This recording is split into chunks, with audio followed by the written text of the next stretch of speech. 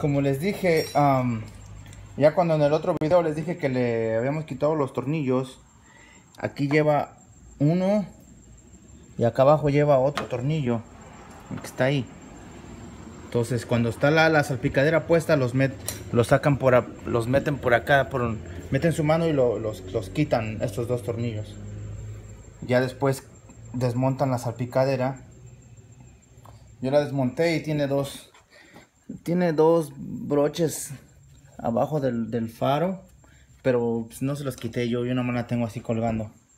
Entonces ya nada más de aquí quitan los tornillos y si, cerrada la puerta y reemplazan los brackets. Allá tengo el otro bracket, si lo ven está pandeado.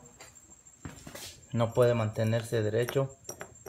Por lo mismo que la puerta se dobló, entonces queda pandeado. Entonces nada más es de quitar los tornillos, son medida 13.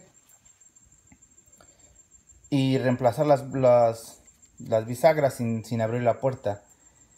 Ya después, pues, este, la puerta cerrará. Esperemos que cierre normalmente. Y ya, pues, el golpe de aquí, pues ya lo, si quieren, lo tienen que mandar a la jalatería. Yo lo que tengo pensado es quitarle la parte de adentro de la puerta y golpearle lo más que pueda para sacarla. Y ya cuando tenga yo tiempo, iré por una puerta, ya sea que la compre nueva o la agarre usada. Y igualmente la, ya después subiré un video si es que la llevo a cambiar. Bueno, espero les haya servido de algo y pues anímense a hacer las cosas.